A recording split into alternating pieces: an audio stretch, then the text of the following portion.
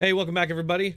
Do you all remember way, way back, way, way, way back, last year, when the media circled their wagons around Andrew Cuomo. I mean, even as those nursing home scandals were breaking. If nothing else, the media is great at picking losers. Even as those initial sexual harassment cases began getting some attention, the media still treated Cuomo like he was above scrutiny, which we all know is the default when we're dealing with Democrats in the media. He even had an open propagandist over at CNN who admitted that he was acting as PR for his brother, and how that didn't violate any journalistic ethics. Because remember, they don't actually have any journalistic ethics or standards at all. As it turns out, Chris Cuomo was actually part of the governor's team of advisors, and he actually had ongoing and regular discussions about how to respond to the allegations publicly. He even participated in strategy calls. Now, finally, the media will be forced to cover him critically.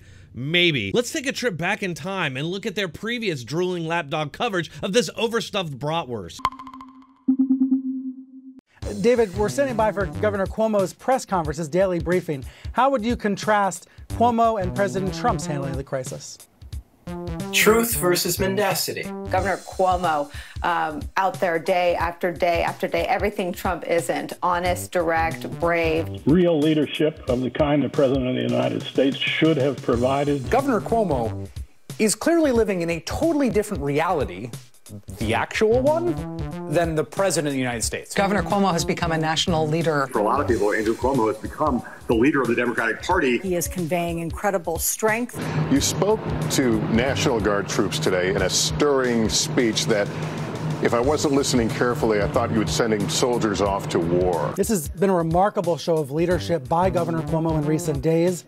He's providing hope, but not false hope. Governor Cuomo, no. I think, is, is, is one of the heroes on, on the front lines. With all of this adulation that you're getting for doing your job, are you thinking about running for president? Andrew Cuomo, who has a daily television show now uh, and has become, in some ways, the shadow uh, president. Maybe Trump is just a little bit mad that Governor Cuomo has become a kind of acting president. Dealing with hardship actually makes you stronger.